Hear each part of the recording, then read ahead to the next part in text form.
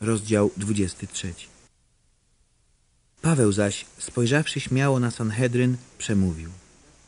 Bracia, aż do dnia dzisiejszego służyłem Bogu z zupełnie spokojnym sumieniem. Arcykapłan Ananiasz kazał tym, co przy nim stali, uderzyć go w twarz. Wtedy Paweł powiedział do niego, uderzy cię Bóg, ściana pobielana.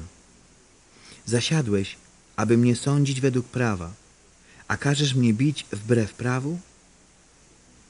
Arcykapłanowi złorzeczysz? Powiedzieli stojący przy nim. Nie wiedziałem, bracia, rzekł Paweł, że to arcykapłan.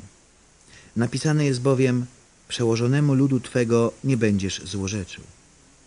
Wiedząc zaś, że jedna część składa się z saduceuszów, a druga z faryzeuszów, wołał Paweł przed Sanhedrynem. Jestem faryzeuszem, bracia, i synem faryzeuszów, a stoję przed sądem za to, że spodziewam się zmartwychwstania umarłych. Gdy to powiedział, powstał spór między faryzeuszami i saduceuszami i doszło do rozdwojenia wśród zebranych. Saduceusze bowiem mówią, że nie ma zmartwychwstania ani anioła, ani ducha, a faryzeusze uznają jedno i drugie.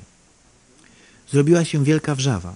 Zerwali się niektórzy z uczonych w piśmie spośród faryzeuszów, wykrzykiwali wojowniczo nie znajdujemy nic złego w tym człowieku. A jeśli naprawdę mówił do niego duch albo anioł?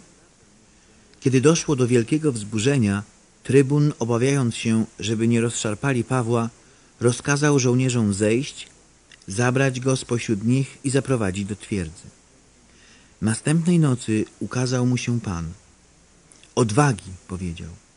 Trzeba bowiem, żebyś i w Rzymie świadczył o mnie, tak jak dawałeś o mnie świadectwo w Jerozolimie. Kiedy nastał dzień, Żydzi zebrali się i zobowiązali się pod klątwą, że nie będą ani jeść, ani pić, dopóki nie zabiją Pawła.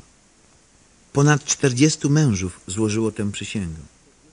Udali się oni do arcykapłanów i starszych i powiedzieli Zobowiązaliśmy się pod klątwą, że nic nie weźmiemy do ust, dopóki nie zabijemy Pawła.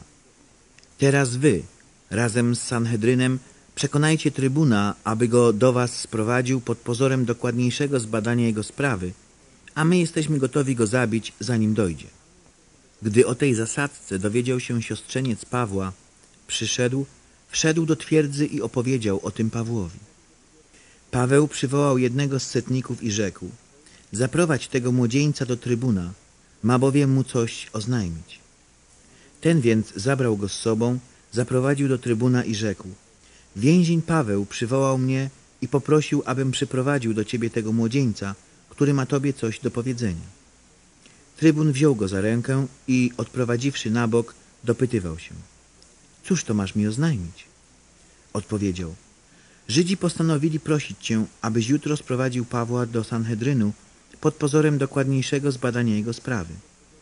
Lecz ty ich nie słuchaj, bo ponad czterdziestu spośród nich czyha na niego. Oni zobowiązali się pod klątwą, że nie będą ani jeść, ani pić, dopóki go nie zabiją i już teraz są w pogotowiu, czekając na Twoje przyzwolenie.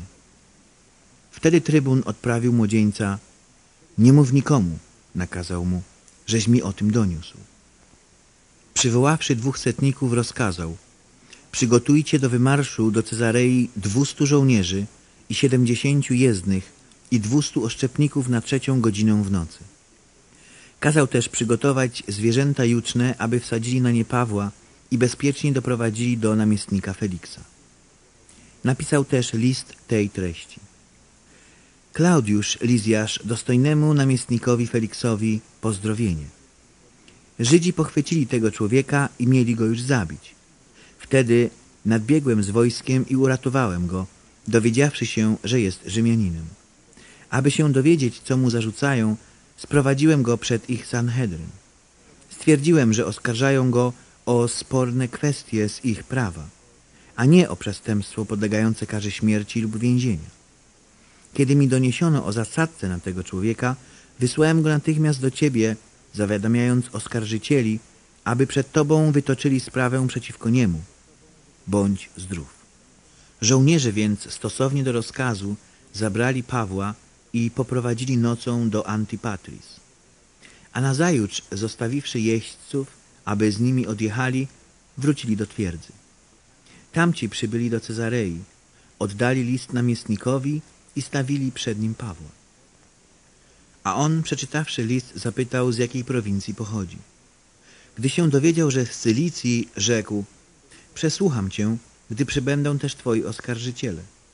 I rozkazał strzec go w pretorium Heroda.